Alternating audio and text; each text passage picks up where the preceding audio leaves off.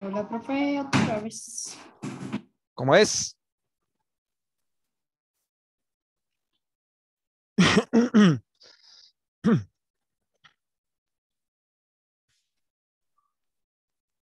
Profe, digamos que copiar, estoy aterrado, no he copiado nada en unas... Ah, no ha copiado nada. Qué triste que el profe le pida apuntes, ¿no? Pero bueno, pero todos los días copio algo. Después dice algo nuevo y ahí sí que lo copio. Listo. Profe, queremos saber por qué está en la casa. Ah, ya, porque estuve muy enfermo el lunes. Entonces, eh, me dijeron que no. fuera Prevención y acción. Me dijeron que no fuera hoy porque eh, hoy tengo ahorita una cita para ver si me programan la prueba. Porque pues ya estoy bien, o sea, ayer y, y el martes estuve bien, pero el lunes estuve muy mal, muy mal, muy mal. Entonces me dijeron, la enfermera del colegio me dijo que no fuera porque podría hacer eso. Entonces ayer pedí la cita y me la dieron para hoy, pero solo para como cita médica. Entonces me toca pedir la prueba para que me la agenden y poder ir y descartar si es o no. Entonces ella me dijo, no, mejor Bien, profe. no vaya.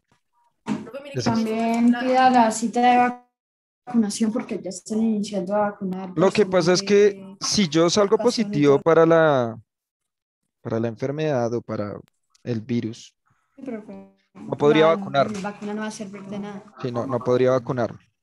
Sí, sería. porque eso haría más fuerte al virus prácticamente. Exactamente, papu, muy bien. profe, mire que me he hecho cuatro veces la prueba. Uy, Pero qué obsesivo compulsivo, ¿qué? No, es que por el fútbol nos piden cada mes hacérnosla. ¿Por el qué? Yo solo una Ah, vez fútbol. y salí positivo. Ajá. Ok. Y las cuatro veces negativas. Ah, bueno, bien.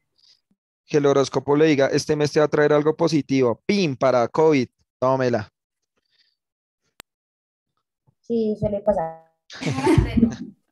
Entonces, Eh, resulta que nuestra amada mitocondria, nosotros no la podemos heredar del papá, de nuestros papás, porque las mitocondrias en el espermatozoide están en el flagelo, o sea, en la colita del espermatozoide. Entonces, cuando entran al óvulo, ese flagelo se pierde. ¿Sí? Esa colita se pierde. Entonces, la mitocondria que empieza a tener nuestras células cuando empezamos a formar, a formarnos, ¿cierto? Esperen, esperen. Ya. Entonces, esas mitocondrias eh, van a ser de nuestra mamá por el óvulo. Son las únicas mitocondrias que tenemos.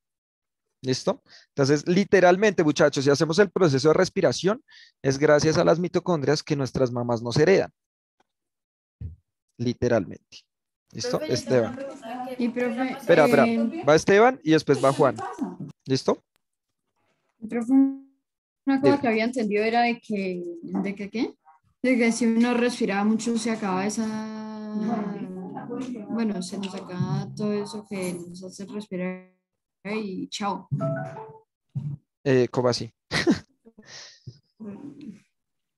Bueno, lo que pasa es yo que... había escuchado que si uno no respira, se muere. Y si uno respira, se muere. Sí, está bien. ¿Qué es la respiración? La respiración es un proceso oxidativo, ojo con lo que estoy diciendo, oxidativo, por el cual obtenemos energía y podemos vivir. Sin embargo, a medida que nosotros respiramos, recuerden que la respiración se da en cada una de nuestras células, a medida que respiramos vamos muriendo de a poquitos. ¿Por qué? Porque es un proceso que oxida nuestras células y por tanto genera radicales libres. Prueba de ello es que envejecemos. Nosotros envejecemos gracias a la respiración. ¿Sí? Cuando envejecemos es gracias a la respiración. Entonces, obviamente, ustedes se dan cuenta que cuando una persona deja de respirar, se muere y no envejece, sino se empieza a descomponer. Ya no sigue envejeciendo porque las células ya no hacen oxidación, sino lo que hace es eh, descomponerse el cuerpo y ya. Pero cuando nosotros seguimos viviendo y alcanzamos una edad eh, mucho mayor, eh, nuestras células se van desgastando por el proceso de respiración, porque es un proceso muy fuerte de combustión eh, donde se oxidan las células literalmente. Entonces eso hace que nosotros nos envejeza- envejezcamos. ¿Listo? Entonces sí, a medida que vamos respirando, vamos muriendo también de a poquitos. Juan, Juancho, Juancho, Profe, eh, te iba a preguntar, ¿qué, hubiera pasado si de pronto esa, imaginando que es verdad esa teoría, qué hubiera pasado si de pronto esa bacteria no sobrevive adentro? Ah, bueno, eso es una muy buena pregunta. Nosotros estamos viendo ahorita eh, la simbiosis obligatoria. Seguramente eh, la célula mm, que se comió a la mitocondria, a la bacteria, eh, seguramente no hubiera podido vivir mucho tiempo, ya que necesitaba energía para poder sobrevivir. ¿Sí? Entonces, digamos que seguramente no se hubieran desarrollado las células eucariotas como las que tenemos nosotros, si no hubiera pasado ese proceso y hubiese existido otro tipo de seres vivos eh, con otra obtención de energía. ¿Sí? Obviamente la mitocondria Sí. seguramente hubiera seguido existiendo porque las- la mitocondria sí podía producir energía, pero la otra seguramente tenía que absorber la energía de otros seres vivos. ¿Listo? Se mamut. C mamut. Listo. Osorio, ¿ibas a decir algo? Eh, Orozco, digo. ¿No? No, ¿por qué, profe? Que se activó, activaste el micrófono por un micro momento y yo estoy pendiente de todo. Ja, ja, ja. Listo. Entonces, ya sabemos que hay mutualismo donde las dos especies se ven beneficiadas. Lo vamos a poner desde de la siguiente manera, ¿listo? A ver dónde está el palito. Si las dos especies se ven beneficiadas en el mutualismo, si hay mutualismo, vamos a ponerlo de la siguiente manera. Bueno, digamos que esto es un más. Horrible más, pero es un más. ¿Listo? Entonces vamos a poner un más con un más. Eso quiere decir que las dos especies se ven beneficiadas. Dos eso cargas es- positivas. Y eso quiere decir eh, mutualismo. Cuando hay mutualismo es que las dos especies se ven beneficiadas. Entonces se representa así, más, slash, más, así, tal cual. ¿Listo? Ahora, vamos con el comensalismo. ¿Listo? El comensalismo es un tipo de, de lugar, de relación, perdón, en el cual una especie se ve beneficiada y a la otra no le afecta. No, no le afecta ni le beneficia, ni le perjudica, ni nada. Se expresa de la siguiente manera. Más, ¿cierto? O sea, una especie se beneficia y a la otra no le afecta. Dime. Ignorado. Dime. Eso es como lo de los, lo de esos pedacitos que se comen los callos de los que, que pues ellos se lo comen y nosotros normal. Exacto, hay muchos peces que hacen eso. Por ejemplo, el, e- el ejemplo más, eh, el ejemplo más claro es ese, el del tiburón y la rémora, ¿cierto? O los pececitos que lo que decía ahí el Rafiki, ¿no? Eh, los que nos van a, a, a comer partecitas de células muertas o de bacterias de nuestro cuerpo. Ahora, por ejemplo, está el, vamos a ver el tiburón con la rémora, ¿listo?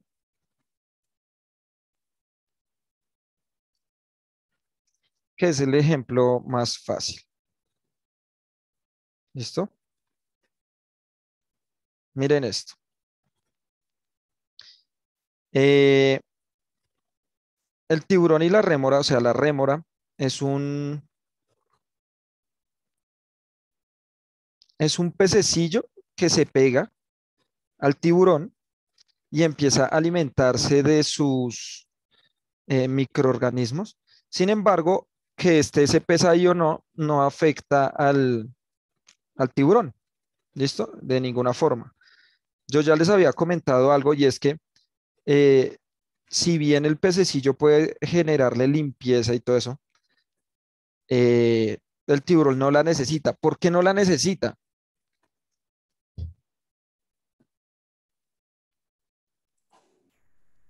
¿Por qué creen? Tú nos habías dicho que cuando él salía, eh, a- cuando él salía a la superficie, eh, se llenaba de bacterias otra vez. No, al revés. Él en el agua está llenito de bacterias, pero cuando él pega su salto, ¿cierto? Sale momentáneamente del agua y vuelve a entrar, ese choque con el agua hace que esas bacterias lo eh, se limpien del cuerpo, se quitan. ¿Listo? Bueno, ¿Listo? Entonces, eso hace que se limpien. No necesitan a los, a los peces obligatoriamente. Sin embargo, acá se da un proceso de foresis también. ¿Listo? porque al tiburón, al tiburón no le importa que lo limpie. ¿Qué es, qué es la foresis? Cuando una especie ayuda a transportar a otra. ¿Sí? Por ejemplo, nosotros hacemos una- un montón de foresis, muchachos. Somos dispersores de semillas. También es como las tortugas que se mueven en las corrientes de agua. ¿Qué sé qué? ¿Qué sé qué? Corrientes de agua. Sí, pero eh, la foresis es cuando un ser vivo lleva a otro. Por ejemplo, ustedes ven este. Un caballo, mío. un caballo lleva a una persona. Bueno, lo que pasa, lo que pasa es que el caballo llevando a la persona es una relación. Mucho ruido. Entonces, Llevando el caballo llevando a una persona es una relación cultural en la cual nosotros obligamos al caballo a transportarnos. Obligamos al caballo, o sea, el caballo eh, seguramente no quisiera llevarnos eh, en su lomo. Pero, por ejemplo, nosotros sí tenemos una relación de foresis con esta plantica. Entonces, ¿qué pasa? Ustedes conocen esta planta eh, llamada diente de león. Resulta que cuando se poliniza, esto es una inflorescencia, o sea, acá dentro hay muchas florecitas en cada cosita amarilla, hay muchas florecitas chiquitas y luego cuando aparece la semilla se ve así. Esta acá lo que vemos son miles de semillas del diente de león. ¿Usted qué hace cuando ve eso? ¿Qué suele hacer? La Cuando- sopla. Ah, Lo soplo, claro. profe. Usted lo sopla. Uno la arranca del pasto, o sea, uno la arranca del pasto, o sea, la mata y luego le quita todas las semillas. Y ahí está Exactamente. plantando un poco. Ahí está Exactamente. Cada una de estas cositas blancas se llama cipselas y cada una es una semilla. Entonces, cuando tú las soplas, lo que estás haciendo es dispersar esa semilla, haciéndole foresis. creando haces- muchas más florecitas. Exactamente. Lo que estás haciendo es dispersarla. Entonces, donde caiga cada una de esas cositas blancas, potencialmente puede surgir otro diente de león. No, pero a mí me dijeron que era por un deseo. Ah, ok, sí, claro. Sí, El deseo. Y tu deseo que salgan más dientes de león y se cumple. Es el único deseo que se va a cumplir. Los demás no. No, mentiras. Si creen, como la pues. estrella fugaz. Sí, para eso es la clase de ciencias, para, para desilusionarlos. Uy, profe, eso es lo que debe hacer. No, entonces, profe, muy oh, servicio comunitario, soplar esos dientes de león. Claro. Ahora, digamos, por ejemplo, pero esos dientes de león siempre los encuentro en lugares donde hay basura y cosas por el estilo. No sé por qué. bueno, lo que pasa es que estos son, eh, estos se llaman plantas arbenses, o sea, son arbustos pequeñitos, ¿cierto? Son matorrales. Y los matorrales, al igual que el pasto, crecen muy fácil en cualquier zona. Entonces tú los vas a ver en lugares donde hay potreros, donde hay escombros de, sobre todo de arcillas, de, de ladrillo y todo esto, salen muy fácilmente porque ellas aprovechan eh, sobre todo el hierro eh, y el magnesio que hay en estas rocas. Y por eso es que salen tan rápido, se aprovechan muy rápido. ¿Listo? Entonces, son como son plantas tan chiquiticas. eh, recuerden, ah, bueno, ahora sí. Por ejemplo, si yo estoy hablando del diente de león o del pasto, eh, ¿qué tipo de relación intraespecífica era la que tenían ellas principalmente? Intraespecífica. Al igual que casi todas las plantas, muchachos. Muy bien, excelente, colonial. Entonces se establecen en un punto y ahí empiezan a expandirse hacia los lados, como pasa con las ciudades. ¿Listo? Muy bien, muchachos, están, pero abejas, están ¿El diente de león se puede abejas. comer? Todo se puede comer, que te mueras es otra cosa. No me Ay, profe. Ay. Profe, genial a comer, a comer. Profe, a mí me decían que si uno se lo comía, uno se un guerrero dragón. Eh, guerrero dragón, pero en el hospital será porque Mucha fantasía. Profe, una pequeña pregunta, una pequeña pregunta, profe, ¿de dónde sale ese dicho de póngase abeja? ¿De dónde sale ese dicho? ¿Por qué meten Lo- a las abejas? Lo que pasa es que las abejas, como nosotros vimos en relaciones intraespecíficas, las, las abejas son muy, tienen un protolenguaje, ¿no? Que yo se los había mostrado, ¿sí se acuerdan? Que era el bailecito que hacían. Eso es un protolenguaje. Entonces, digamos que aparece. Eso, lo estábamos viendo en inglés. Exactamente, muy bien. Entonces, estas abejitas, las abejas en general, y todos los himenópteros, que ustedes ya saben que son los himenópteros, o sea, abejas, avispas y, ¿y qué más? Eh, profe, espera un segundo, voy a buscar mis apuntes. Voy a ir a buscar mis apuntes, papu, los necesita tener ahí, como así? No, profe, yo los tengo aquí, pero es que estoy buscando la página. Ah, Es que he escrito como más de 10 hojas, cada una con dos, he escrito más de 20 páginas, entonces debo buscar. Profe, que las hojas de dientes de medicinales. ¿son qué? Medicinales. Sí, muchas de estas, muchas de estas eh, así se llama la familia de este profe. tipo de plantas, como eh, la manzanilla, que también es una asterácea, eh, suelen ser medicinales en, eh, cuando se hacen en, en bebidas líquidas calientes. Infusiones se llama eso. Listo. Profe, himenópteros, himenópteros, abejas, avispas y hormigas. Listo. ¿Cuál era la característica de los himenópteros? ¿Qué significa la palabra himenóptero? ¿Recuerdan? ¿Qué era himen? No. Profe, si no estoy mal, era- algo tenía que ver con alas. Ptera, la terminación ptera hace referencia a ala. Y himen. La raíz, la Ah, raíz eh. latina. obviamente por el tema de representante. Eso, Himen hace referencia a membrana. Membrana. O sea, el nombre, Mm, Bueno, las seis patas son de los insectos, por eso los, e- los insectos se llaman hexápodos. O sea, hexa, seis, podo, pie. Pero cuando hablamos de himenóptera, quiere decir que sus alas son membranosas, porque himen significa membrana. Alas membranosas, en latín. Ustedes saben que en biología debemos aprender cositas de latín para entender la etimología o la raíz de las palabras, para saber qué nos están diciendo las palabras. ¿Listo?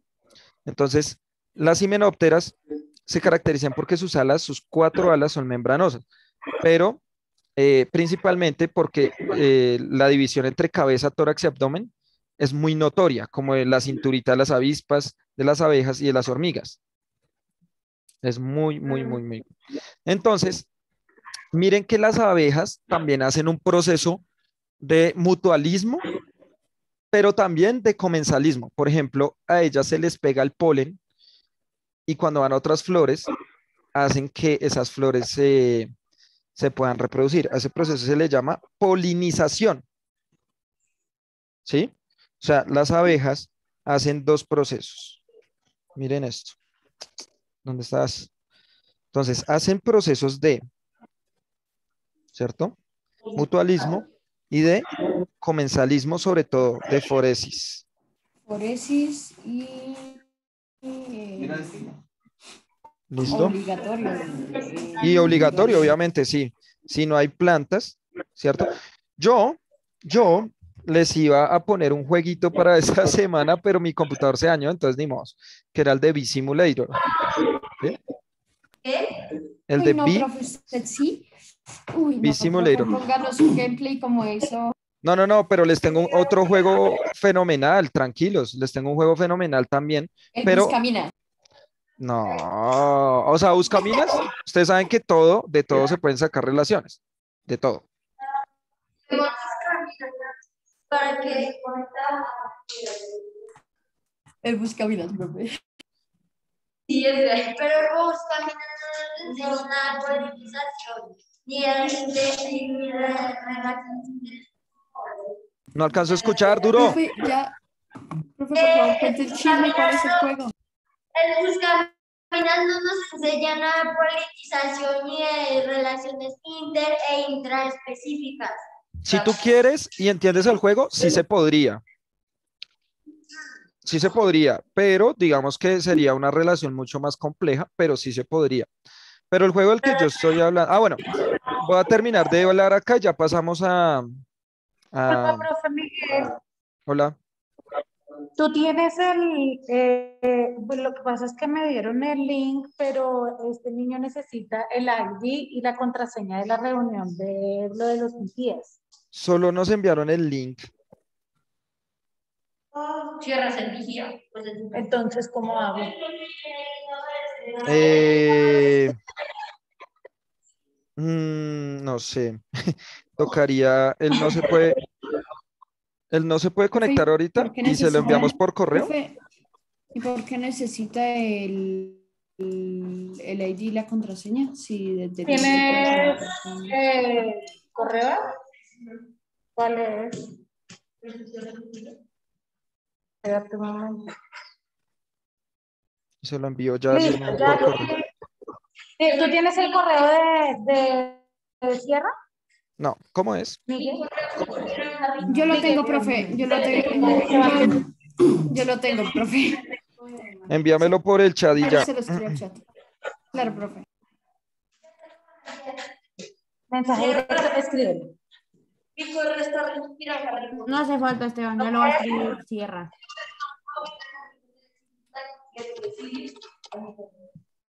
Mira, doble S. Así está bien, revísalo bien. Todo bien. Listo, dale enviar. Listo, Miguel, ahí te lo enviaron. Listo, te voy a enviar el link al, al, Te van a enviar el link al correo. Listo, gracias. Listo. Y ah, ¿quién más? El otro compañero, ¿dónde está? Espérenme un momento, voy a dejar de compartir pantalla para enviar eso y ya. Se lo voy a enviar a Emanuel. Y ya seguimos.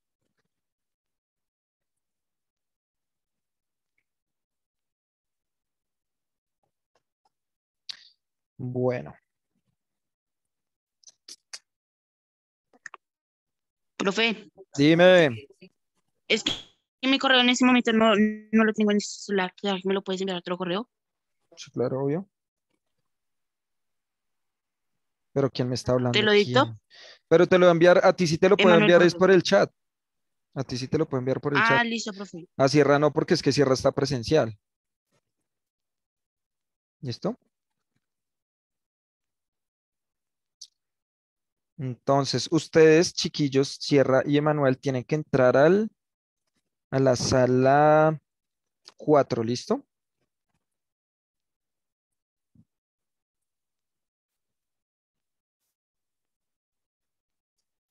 Emanuel.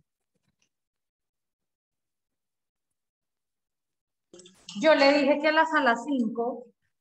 Espérame, ya corroboro, ya corroboro. Sí, mira, dice. Ah, no, espera.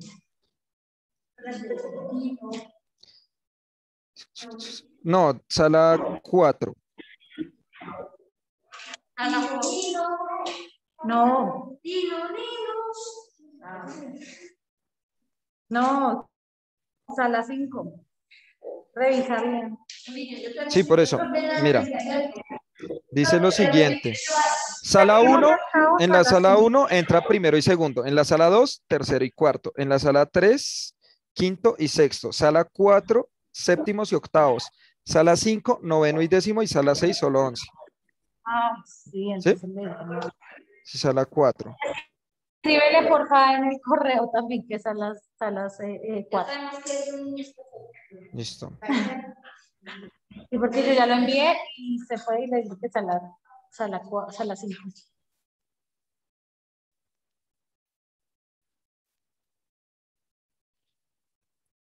Sala 4.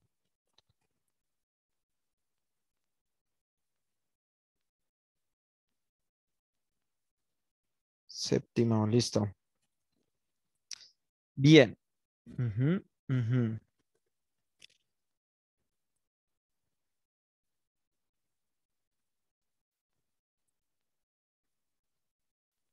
Listo, muchachos. Ahora sí sigamos. Emanuel, ya desde este momento puedes conectarte a la sala y eso también. Ya tienes permiso académico. Listo, profe, chao. Chau. Listo, mis pequeños. Entonces, miren acá. Nosotros eh, podemos ver que hay una foresis, ¿cierto? Con las abejitas. Entonces, la- la- las abejas van a tener eh, esta relación de foresis, es decir, de transporte del polen, ¿cierto? Acá, por ejemplo, nosotros vemos una abejita donde ellas, eh, si bien necesitan y tienen un mutualismo acerca de la glucosa o el néctar que sale de estas plantas, ellas también van a necesitar eh, o van a ayudar a transportar para polinizar las otras eh, especies de, florecitas de las cuales se alimentan. ¿Listo? Ustedes saben que las abejas son consideradas uno de los seres vivos más importantes para la conservación de los ecosistemas. ¿Listo? Bien, muchachos, acá voy a hacer una apreciación porque eh, resulta que cuando ustedes leen acá el ejemplo que sale del inquilinismo, sale el loro oreje amarillo, ¿sí? ¿Y por qué sale ahí? Porque resulta que cuando un ser vivo se encuentra dentro de otro, ¿cierto? A eso le vamos a llamar inquilinismo. Sin embargo, no todas esas relaciones de inquilinismo son comensales. Por ejemplo, nosotros dentro de nuestro cuerpo tenemos las bacterias que les mostré ahorita y también sería una cuestión de inquilinismo. ¿A qué voy? Al igual que las relacio- relaciones intraespecíficas, con las relaciones interespecíficas eh, pasa lo mismo, es decir, se pueden dar muchas al mismo tiempo con varios seres vivos. O sea, no es que solo se presente una y ya, sino que varios seres vivos pueden tener varias relaciones interespecíficas entre sí. Entonces pueden tener eh, un tipo de mutualismo obligatorio, como pasa con este mismo ejemplo, y un inquilinismo. Eh, las especies más características de inquilinismo van a ser los siguientes animalitos. A ver si saben cuál es este. Le voy a poner el nombre científico. ¿Saben qué animal es?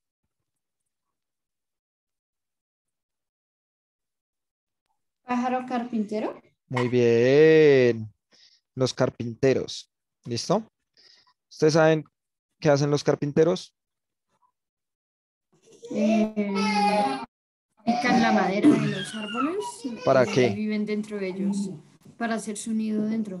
Primero, para hacer nido y pueden vivir dentro de él. Y segundo, para Obtener glucosa de los organismos que están en. Muy bien, comen insectos que están dentro de las ramas. ¿Listo? Comen insectos, o sea, tienen dos relaciones. La primera es de inquilinismo. ¿Con quién? Para sacar la sábila. No Con la el sábila, árbol. ellos comen pequeños insectos. Ellos comen pequeños insectos. Es inquilinismo dentro del árbol, ya que el árbol, como ya sabemos desde hace tiempo, es un ser vivo y él lo que hace es hacer un hueco dentro del árbol y allí es donde vive él. Muy bien, excelente. Y Entonces- además de eso está consiguiendo la glucosa gracias a los organismos que se esconden en las, en las ramas y en el árbol en general. Muy bien, excelente. Entonces, muy bien. Tiene una relación, o sea, el carpintero en este caso tiene una relación de inquilinismo con la planta, porque puede vivir en ella cuando hace su nido.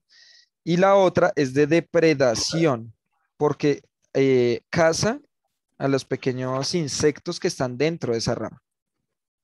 ¿Sí? Entonces hay una relación ahí doble eh, en relación a los insectos y en relación a el lugar donde está viviendo. ¿Listo? También vamos a tener, eh, digamos que la metabiosis, ¿sí? Que incluso se parece mucho a la tanatocresis. ¿Sí se acuerdan que era la tanatocresis?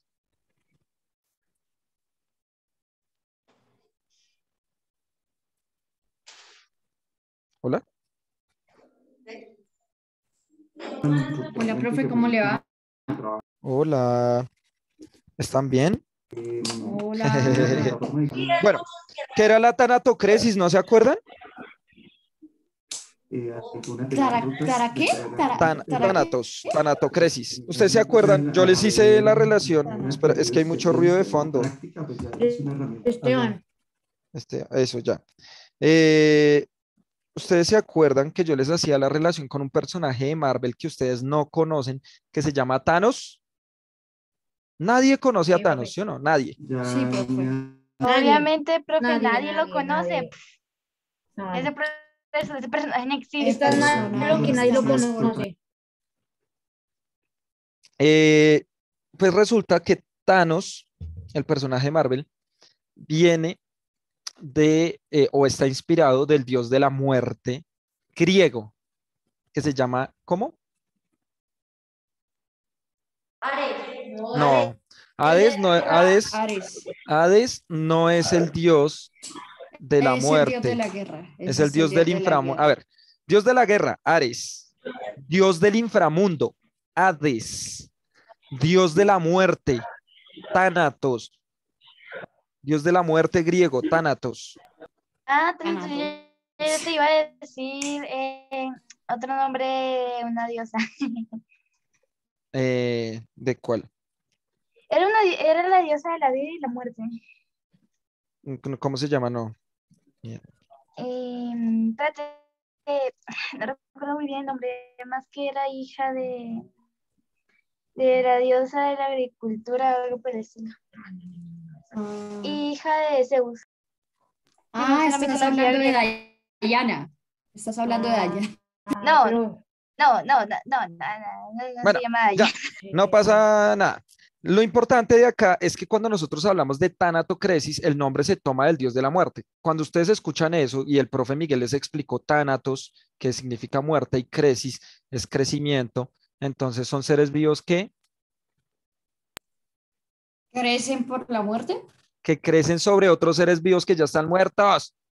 Ah, Ah, ah. los, las... Hongo. Por ejemplo, los hongos, por ejemplo, bacterias, por ejemplo, bueno, otros eh, microorganismos. Las aves rapaces. sí, Las, las aves eh, rapaces también, ¿cierto? Entonces, miren esto, la metabiosis es parecido. Entonces, podemos ver que hay una tanatocresis, por ejemplo, que puede usarla el cangrejo ermitaño respecto a las conchas que dejan algunos caracoles. Ustedes sí han visto eso, ¿no? Que los cangrejos pueden coger algunas conchitas para protección y entonces usan a otros seres vivos. Pero esta metabiosis no solamente es con, con seres que están, que ya están muertos, ¿no?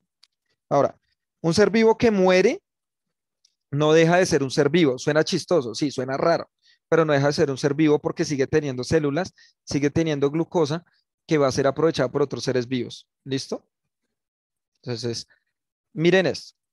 Eh, vamos a tener el principal ejemplo de metabiosis, o sea, meta es sobre, ¿cierto? Es- vida que crece sobre otra. El principal ejemplo que vamos a tener son las bromelias, ¿listo? Ya les digo que son las bromelias. Miren esto.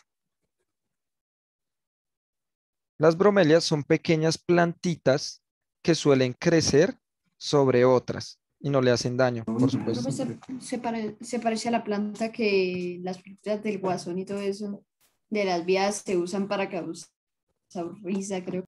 ¿Para qué? Para causar risa, creo que era. Vocalices. Ok, no me No le acuerdo de eso. Pero bueno, mira, esta, estas son bromelias. Cuando ustedes van a zonas muy húmedas, las suelen encontrar sobre los eh, ramas de los árboles. Les voy a mostrar la más popular acá en Colombia. Le solemos decir eh, barba de viejo, le voy a poner el nombre científico. Tilancia, Tilancia usneoides, barba de viejo. La bromelia tal vez una de las más populares acá en Colombia. Se llama ma- barba de viejo y cuelga de las ramas de los árboles. No sé si la han visto. Se parece van al o a musgo o a raíces. Claro, muchos dicen que es musgo, no es musgo. Eh, son eh, plantas vasculares muy grandes y cuelgan sobre los árboles. ¿Listo? Y son grises. Y son grises. Por eso les dicen barba de viejo. ¿Por qué creen que les dicen barba de viejo viendo esta imagen? Que se parece a la. Porque Uy, al, al ser muy... Ush, las al son ser- increíbles, son al- como... Yo, yo sé que algún día se va a ganar un premio Nobel de ciencia, en serio que son... uf, sus análisis son los Porque al ser muy grandes, porque principalmente porque son grises, porque las canas y todo eso, que Claro. sale el, el vello facial, el pelo y demás. y Entonces, segundo, esto... porque es demasiado larga, así que se hace entender que es una barba que creció desde hace 20 años. Listo, muy bien.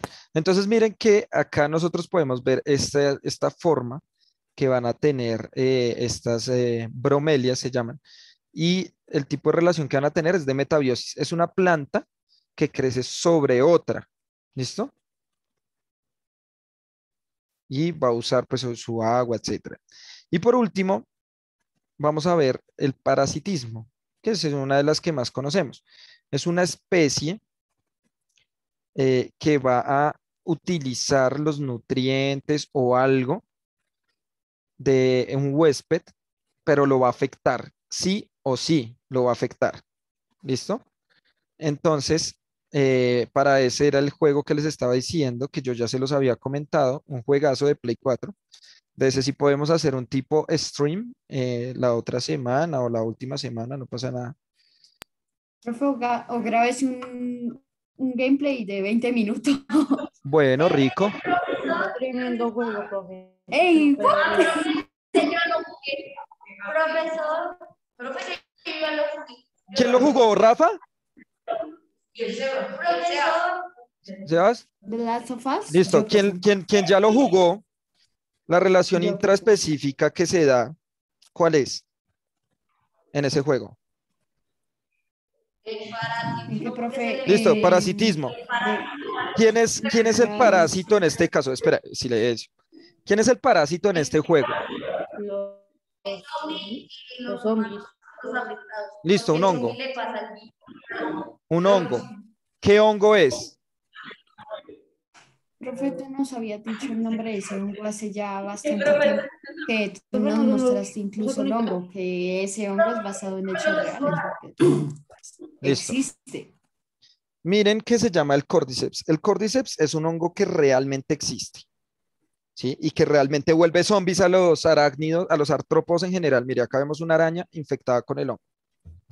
Eso es un parasitismo. Profe, Y realmente los vuelve zombies. O sea, mata, por de- mata al- a la especie y activa su sistema nervioso y hace que se mueva a los árboles y lo lanza de los árboles para que se esparzan las esporas e infecte a más insectos y a más artrópodos en general. Eso es un tipo muy raro, de ahí se inspiraron para hacer el juego. Por eso es uno de los mejores juegos del mundo.